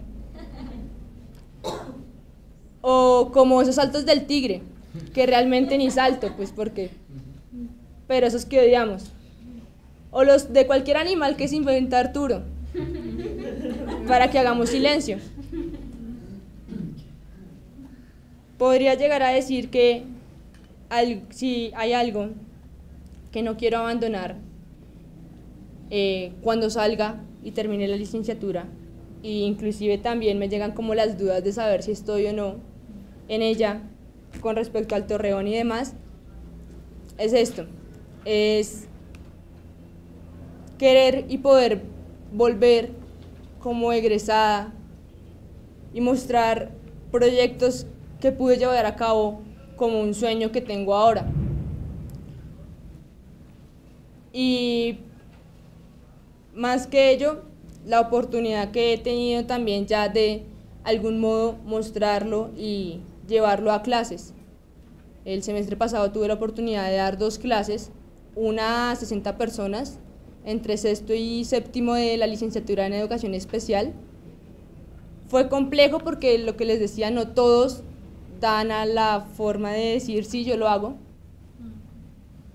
Y más que como están con compañeros, a veces lo tímidos y lo de no mostrar de sí, yo puedo hacer esto, puedo bailar, pero no quiero que lo vean porque me da vergüenza. Además que tuve la posibilidad de tener dos compañeros eh, que, que no pueden ver. Entonces también fue como crear las estrategias dentro del teatro para poderles hacer a ellos el mismo taller que llevábamos todos a cabo porque todos somos los mismos.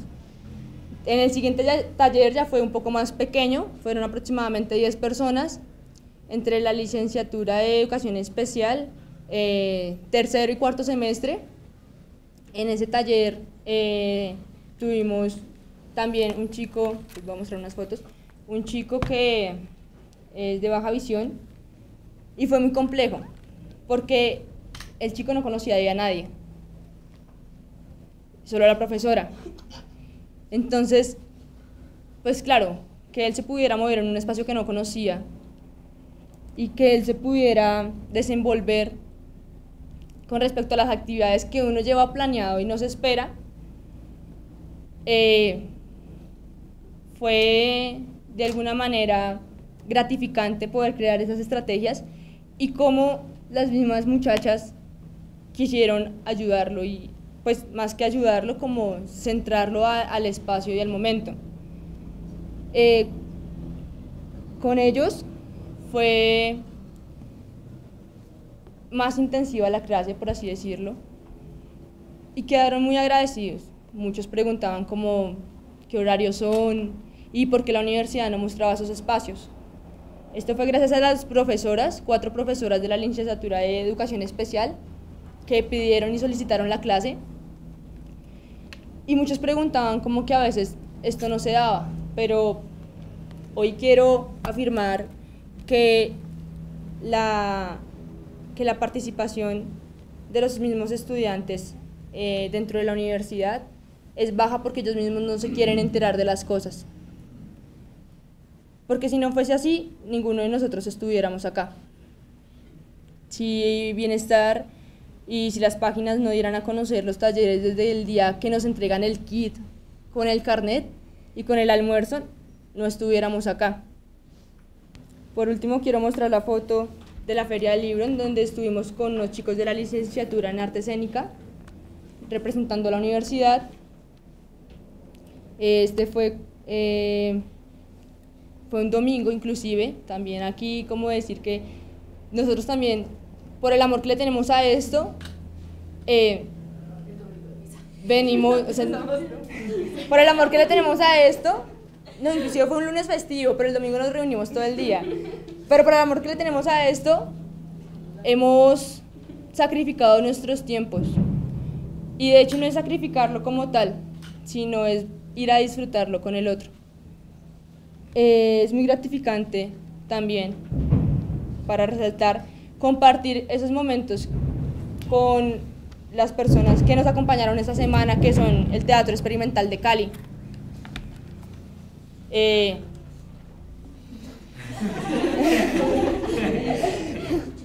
el, el, eh, el sentarnos a hablar con algunos de ellos, que nos cuenten no solo sobre el teatro, sino sus experiencias de vida, verlos organizar su puesta en escena, me hace replantearme el hecho de la falta de también la mis- más, ma- de, de de querer más por mí, de querer llegar a la perfección, pero no a la misma perfección, porque cuando sé que llego a eso, quiero otra, y quiero más y más y más.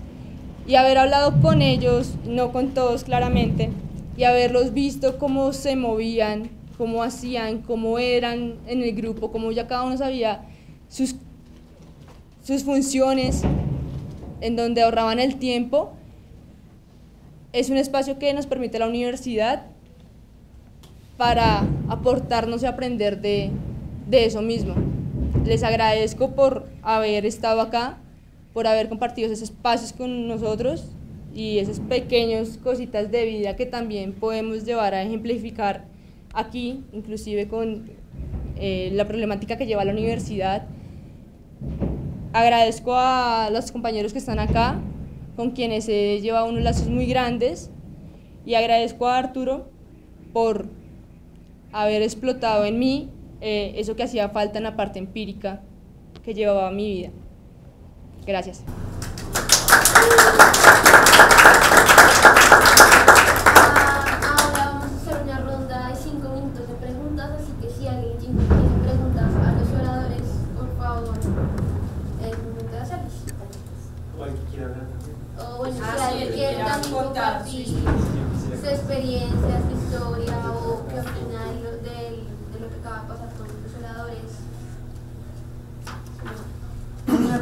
Me preocupa, porque yo, he- yo puedo decir que en mi experiencia entendí que la creación colectiva exige que cada uno sea antena, que cada uno se faje y que uno diga no. Creo que es importante, lo primero que dice uno cuando nace, cuando empieza a hablar, es no. Lo primero que dicen los niños es no. A mí no. No. Y creo que es muy importante poder no. Es importante escoger que, por ejemplo, es verdad que a mí, cuando yo dije que yo iba a hacer teatro, yo empecé a hacer teatro. Pero cuando terminé el bachillerato y digo yo voy a seguir estudiando para hacer teatro, me dicen, ¿y por qué no estudia para ser prostituta? Entonces yo dije no, yo dije no a esa forma como quieren hacer de mí a alguien que cree que hacer teatro es que ser prostituta, aunque tiene algo en común. En cambio la prostituta como el actor trabaja con su cuerpo.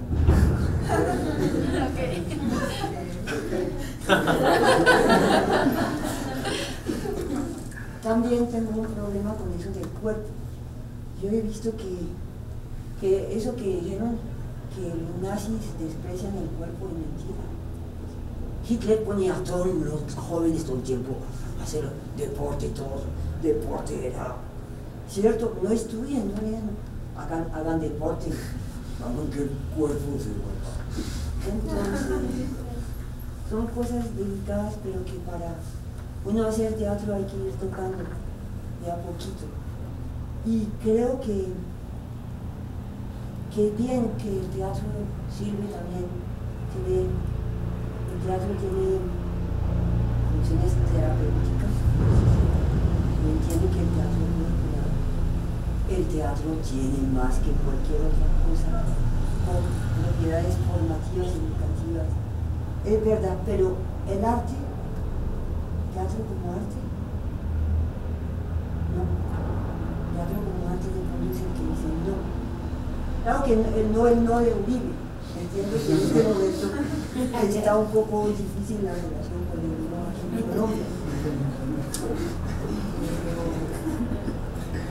Y creo que también la lectura nos enseñó que las improvisaciones las improvisaciones sirven para, sobre todo para decir eso no, eso, eso que por allí no. Y el maestro negativo, hay unos que son el maestro negativo, que dice cosas que uno dice no, eso no, eso sirve de pronto más a uno que dejarse llenar la cabeza de lo que dice el otro que es una autoridad.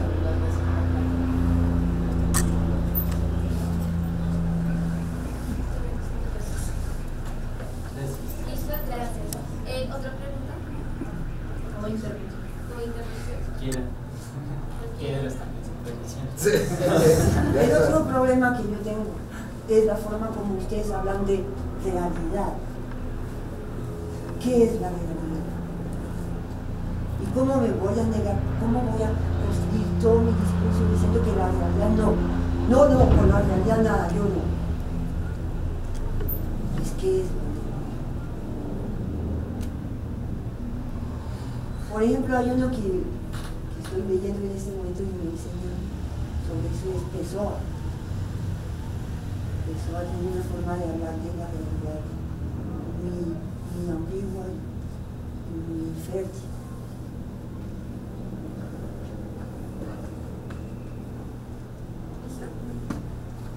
¿Alguien más tiene alguna otra intervención o pregunta o aporte frente al conversatorio?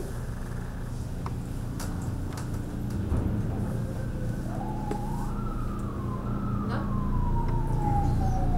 Me pregunto por la experiencia del teatro en la vida. Vamos a compartir un poco eso. Y que, cómo ha sido la experiencia de, de algunas personas en el teatro, cómo el teatro transforma vidas. Y es chévere escuchar.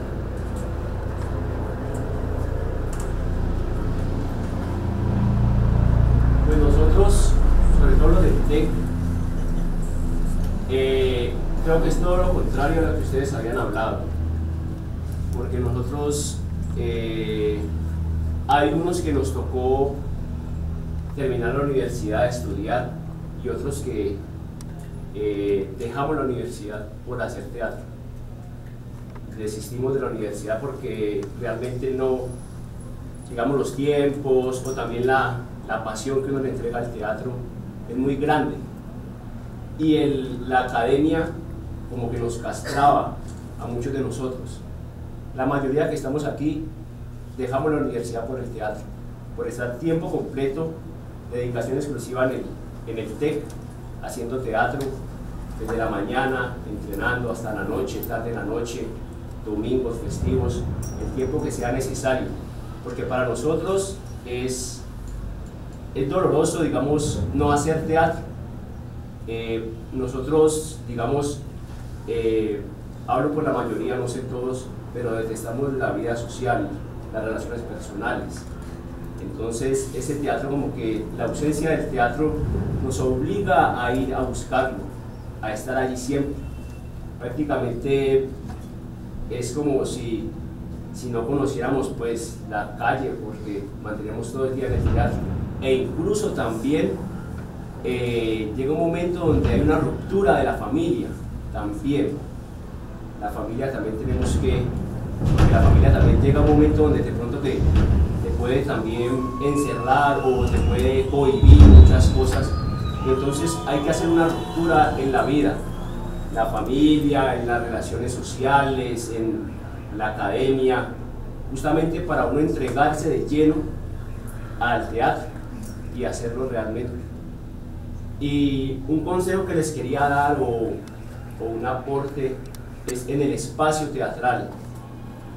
Eh, sería bueno de que ustedes como, como grupo, los que están en el proceso, exijan un espacio grande donde realmente uno pueda saltar sin darse en la cabeza. Sí, un espacio grande donde sí se puedan hacer obras que realmente pues puedan ser diversas y, y que tengan un espacio adecuado. Entonces yo creo que muchachos hay que exigir un espacio teatral que permita, que nos, que nos pueda permitir a los, a los que hacemos teatro, los de la universidad, tener sí la capacidad de poder expresar, de poder saltar sin, sin estar tan encerrados pues ahí. sobre lo del espacio. Aprendimos que hay tres espacios. Están los muros. Ojalá sea un teatro bien grande, con luz ahí. Después está el afore. El afore que hace ya no es el espacio físico, sino ya un lugar solamente sombrío, oscuro, así. El afore, que son los telones y después está el espacio de la obra. El espacio de la obra, que es un espacio que se mueve, un espacio que es de la obra y que habla de la obra y que habla tanto como el texto, los, actores, el espacio de la obra que es diferente, no es el afore ni, es el, son las paredes, eh, que eso se va creando en el TEC, ese espacio se crea durante las improvisaciones, porque los actores, al moverse, porque Enrique Buenaventura dice que cuál es la materia prima del teatro, los actores en acción, así como para el pintor son las pinturas, para el escritor las palabras, en el teatro los actores en acción. Lo grave del teatro es que al pintor no se le van las pinturas, no se le va el rojo. No llegó el amarillo.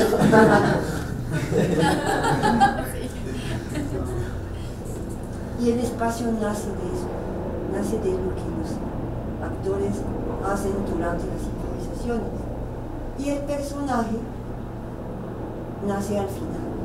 Lo último que nace es el personaje, porque el personaje nace de lo que hace. Y mientras no he hecho nada, no existe. Por mucho que tenga palabras escritas en el libreto, eso no. Porque también dice Don Pelé que la literatura teatral no engendra teatro. El teatro engendra literatura teatral. Hay poetas que escriben para el teatro. Pero casi siempre los que siguen siendo poetas del teatro es porque también hacen teatro. Los que escriben en su escritorio puede ser que tengan tanto fama porque tienen buenos, lo que sea. Pero los escritores que no hacen teatro, no de teatro, nómbrenme un gran escritor de teatro que no haya hecho teatro.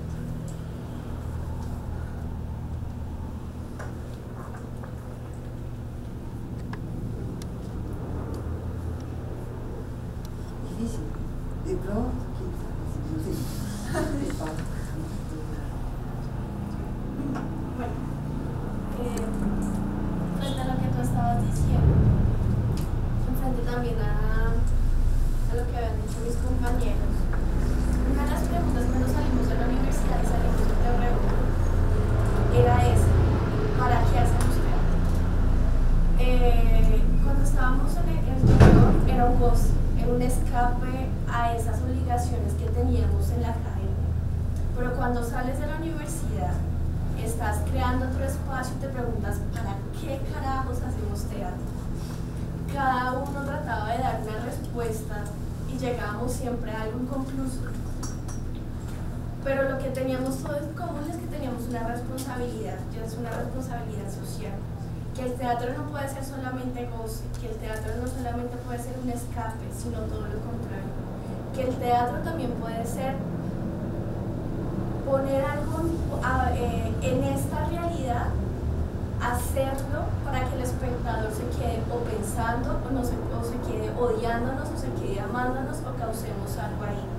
No podemos ser irresponsables a los hechos que han pasado en nuestro país. No podemos ser irresponsables y no podemos seguir, seguir reproduciendo el olvido, ni siquiera en las tablas, ni las, ni en las, ni mucho menos como el colombiano. Y las últimas apuestas de obras ha sido eso, a no olvidar, a recordar y a decirle al otro, hey, ha pasado algo, tenemos que hacer, hacer algo frente a esa realidad. Porque el conflicto armado nos ha marcado y estamos en medio de un conflicto.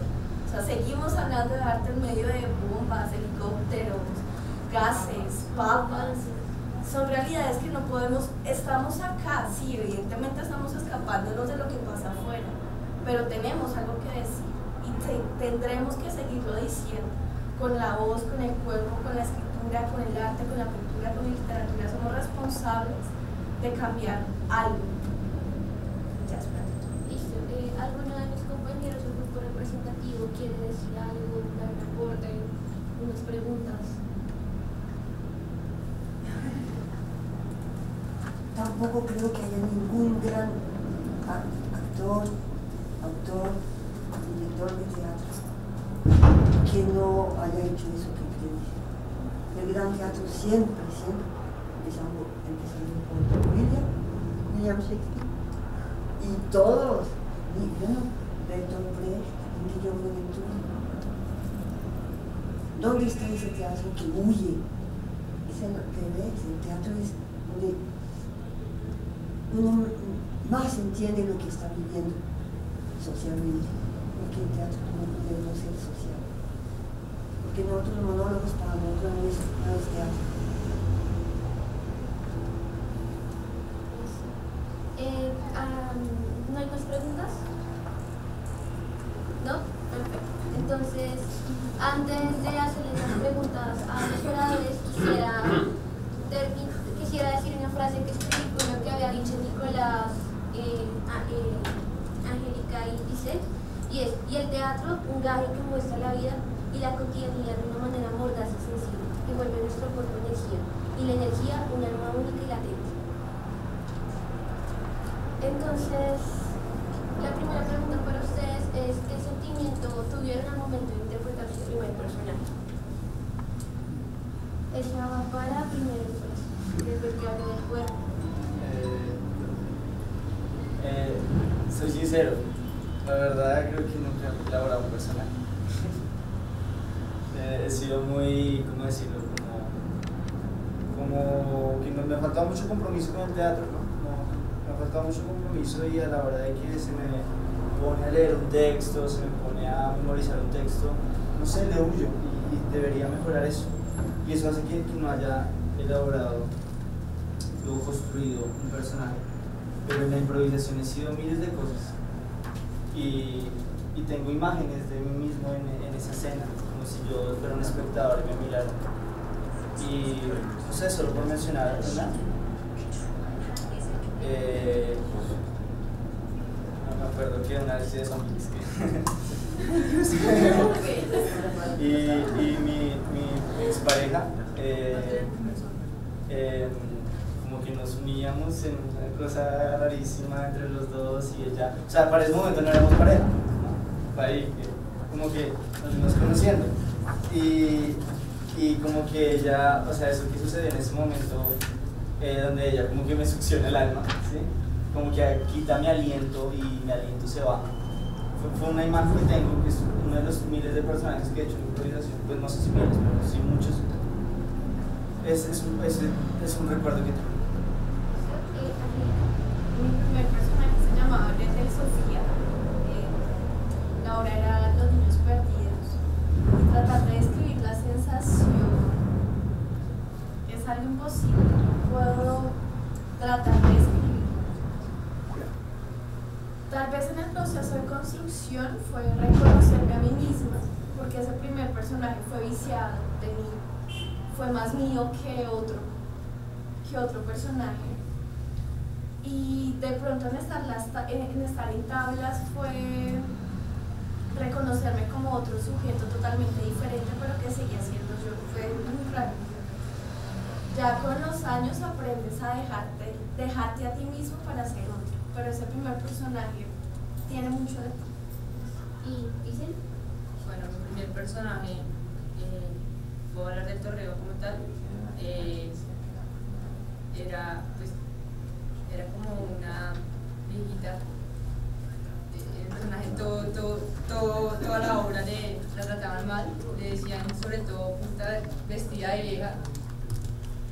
Y era muy complejo, era muy complejo poner en la situación de esa persona y identificar si era la hermana de la persona que lo trataba mal, si era la esposa, era complejo tratar de responderle a esa, esa otra persona que estaba construyendo conmigo en la cena. Eh, parte de, que el personaje es muy noble, muy quiero hacer el lazo otra vez con usted, pero esa persona solo la trataba mal. pues en ese momento eh, era muy complejo identificar el, el que soy yo, de no, no dejar tratar mal, a, hacer el personaje que tiene que decirle que tiene que salir de ahí. Y es muy gratificante de algún modo lograr muchos avances con ese otro. Porque seguro si yo, como dice mi compañera, no hubiera permitido ser ese otro, no hubiera podido llegar a ser el personaje. Hubiera salido a flote quién soy yo y, y hubiera dicho, no, no me pueden tratar. O fue muy gratificante. Entonces, para concluir de todo el conversatorio, yo pienso que eh, el teatro tiene muchas visiones. Todo lo vemos de una manera totalmente diferente. Puede que compartamos diferentes eh, los mismos conceptos, pero al final tenemos situaciones diferentes, desde lo corporal, desde lo interno y desde desde la experiencia empírica que puede tener un personaje y una persona en el momento de enfrentarse al gran escenario de lo que es el teatro. Entonces, el teatro para mí para, y para, y para, y para todos es como, es como el retrato de la vida, es como lo que vivimos cada día, pero de una manera más exagerada. Habla de lo que nosotros nos reprimimos de nuestros sentires, de nuestros dolores, de nuestras angustias. Digamos, si tomo de ejemplo a la obra Caricias, Caricias habla de todos los sentimientos reprimidos, de lo que es el amor, de lo que es una caricia, como me decía el profe Arturo. Digamos, eh, la primera obra en la que estuve con Nicolás, que fue Viudas, habla de lo que es el dolor de alguien por medio del conflicto armado. Y digamos, lo que hablaba Angélica sobre el personaje que uno va construyendo a partir de sus emociones es como una, un alter ego que uno tiene al momento de enfrentarse cara a cara con el mismo y a sobrevaluarse. Y creo que con esto podemos dar conversación.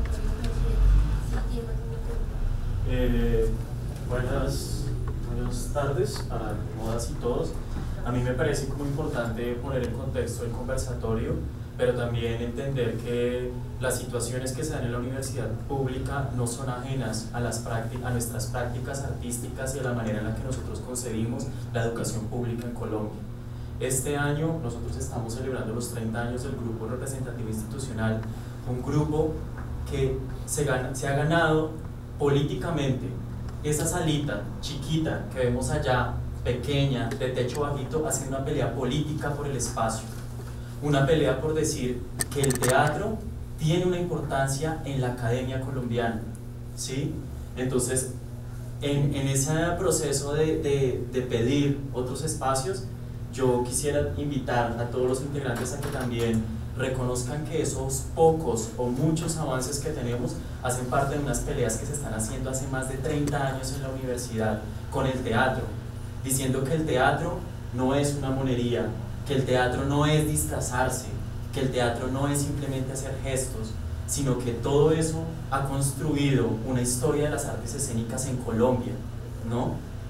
Me parece importante ponerlo en contexto hoy que hay manifestaciones en la universidad, también me parece importante poner en contexto que nosotros por estar aquí hablando ahorita de teatro no somos ajenos a esa manifestación de afuera, no somos ajenos a estar en contra de todo el detrimento presupuestal que tiene la universidad pública en Colombia, no somos ajenos al tratamiento o a la vida que están teniendo las personas en USME, que están siendo, que están, que están terriblemente afectadas por toda la, la cuestión del, del botadero Doña Juana. No somos ajenos a eso.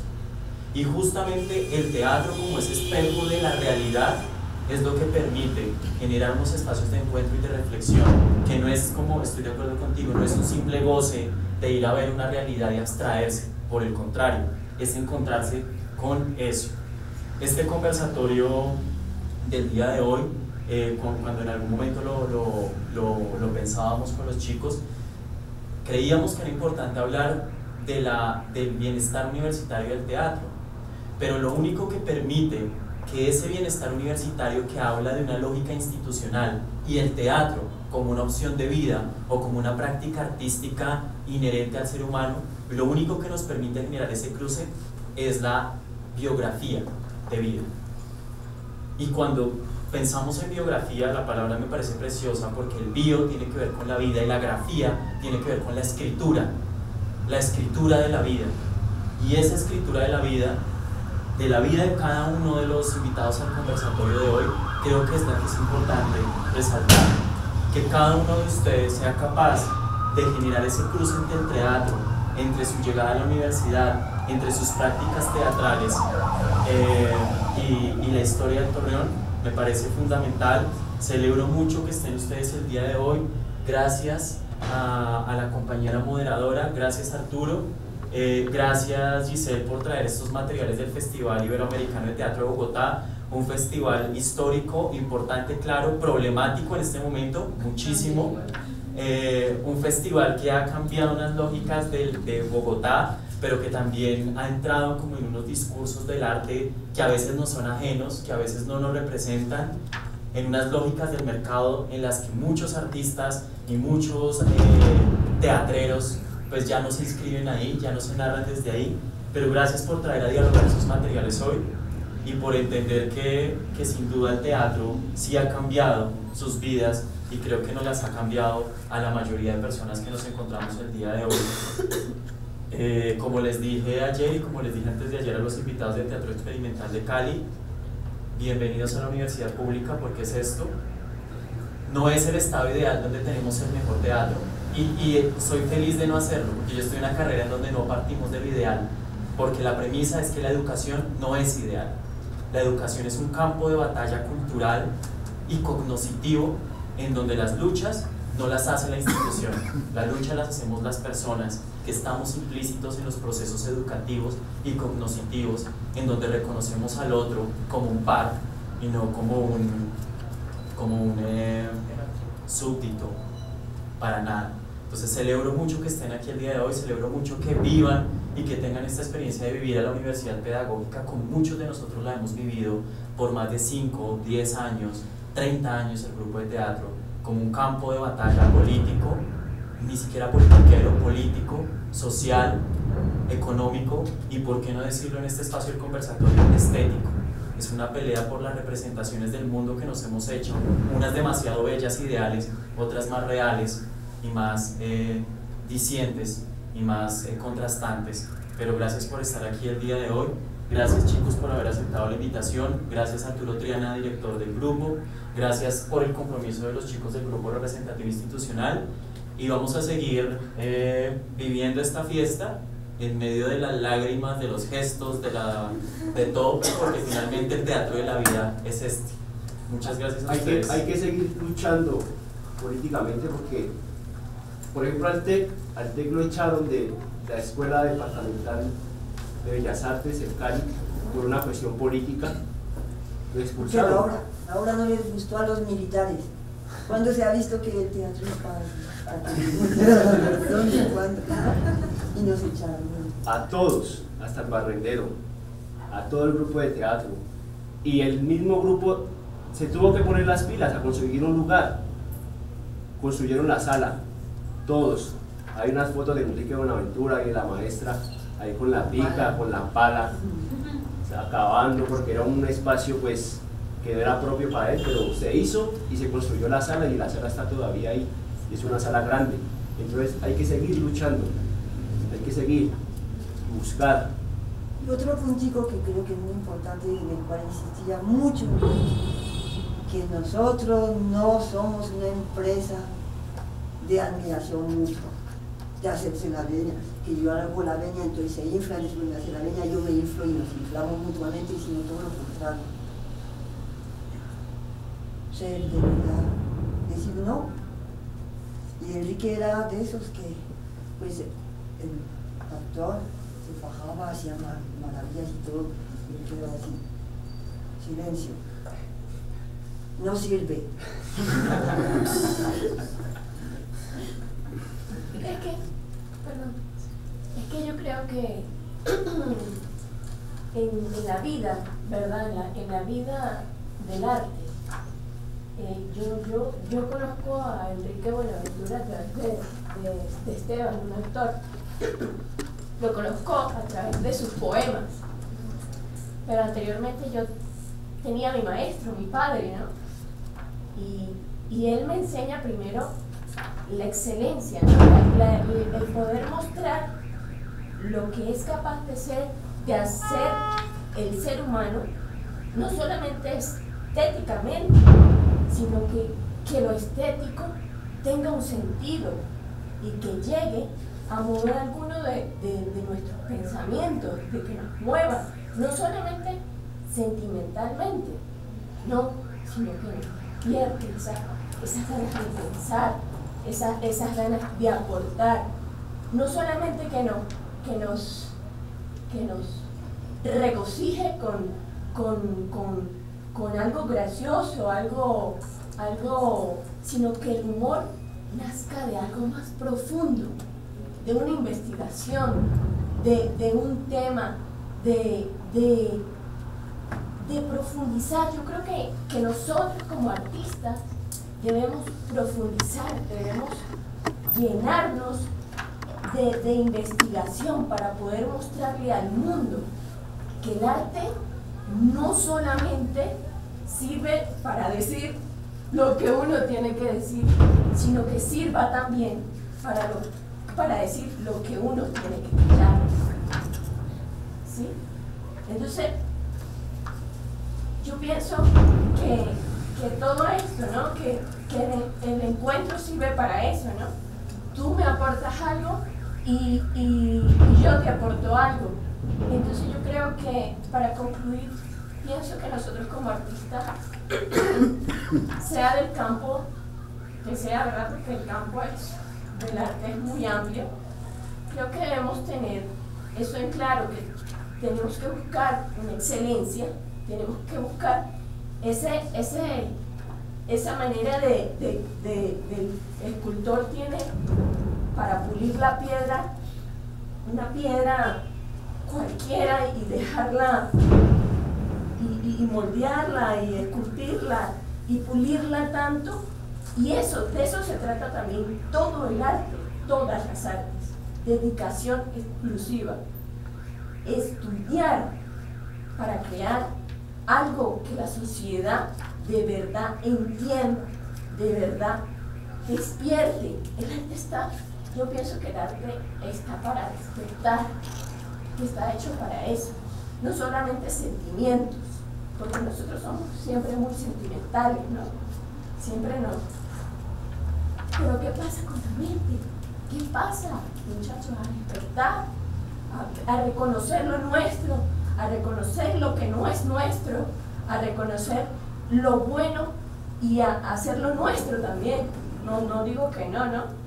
Que también lo, lo, ajeno a uno puede ser positivo hacerlo de uno, pero nunca olvidar el, el, el como el, el norte del arte. El arte no solo sirve para decir lo que uno tiene que decir, sino también sirve para decir lo que uno tiene que callar. Ahora yo lo entiendo muy bien porque es que, es que eso, nosotros somos lo que nosotros somos entre, entre, entre el montón de ovejas. Nosotros somos eso, eso que hace que, que la oveja salte, que la oveja se vaya para otro lado, que no coja el, rumbo, el mismo rumbo de todo, sino que se dé cuenta que hay otros caminos, que hay otras opciones, ¿sí? que existe otra cosa de lo que estamos en la sociedad de consumo, en la sociedad de Sí, yo creo que la es eh, eh, esa chispa para despertar, esa chispa para, para hacer, para reconocer lo nuestro y hacer de eso un, un potencial. Gracias.